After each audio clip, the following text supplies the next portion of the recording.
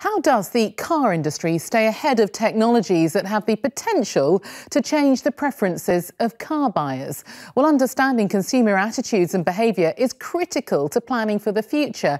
And that's where leading global research firms like GfK are providing critical insights into the connected consumer, as Donna Bernard reports.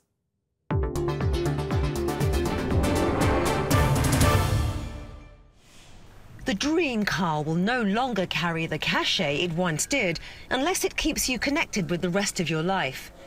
GfK discovered this trend in their recent Consumer Life Survey. Interest in cars fell 5% over six years, while interest in technology rose 17%. Consumers are increasingly looking for connectivity in their vehicles, and GfK knows they expect a seamless digital experience between the car and the home. The way GfK works is very international. We have a lot of offices all over the world in I believe, more than 100 countries with 13,000 employees. So we like to work together, providing with the client the best output we can. We're going beyond, you know, the car being a separate entity altogether, which is traditionally how it's been. We're now actually seeing, you know, cloud access in vehicles. You know, in the future, we could very likely see your car telling you that your fridge has told it that you've run out of milk and you need to pick up some milk on the way home. It's a growing challenge for car manufacturers.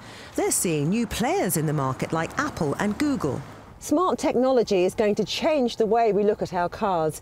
It's not just a case of getting from A to B, but seeing them as an extension of our homes. Self-parking, for example, is already available in the BMW 7 Series. And with input from companies like GfK, the automotive industry can be ready to embrace all this new technology. What we're trying to do is allow people to keep their car up to date all of the time whether that's through in better integration of their phone, email support, but then also introducing new technology that's retrofittable for people at no extra cost. As this year's international smart home study by GfK showed that 78% of consumers felt that smart home technologies would have an impact on their lives, BMW launched an integrated hub with Samsung called SmartThings, where you can connect multiple devices around the house to a BMW for the first time. You can also check your doors are locked as you leave and also lock your doors from the car. So you can check that your house is locked and secure at any time and also see who is at home um, in the house. The research carried out by GfK shows that although consumers say safety is what matters most to them, they'll actually pay more for features that can help them manage their life or simply make it more fun. We're working with GfK to try and understand how customers are using our infotainment systems initially but then uh, potentially looking at wider research with them and how we can understand the customer. The combination of car makers working with tech companies can help to attract buyers. We're seeing technology really driving uh, innovation in, in, in, the car market.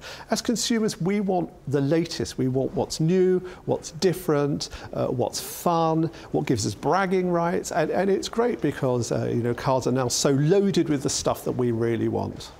The autonomous features in the BMW 7 Series work by using sensors and cameras in and around the car that detect other vehicles and help keep a safe distance. But the driver is still required to be in the car for now. I do certainly think it's possible and feasible from a technology perspective to have fully autonomous vehicles on the road in the not too distant future where you don't have to have any driving input at all. Um, but that's really from a technolog technological perspective. We have a you know, huge social element in there and a political element and a legal element as well. And all of these things have to come together. When the climate is right for driverless cars to take to the road, there's no doubt that the companies who understand the connected consumer will capture the market.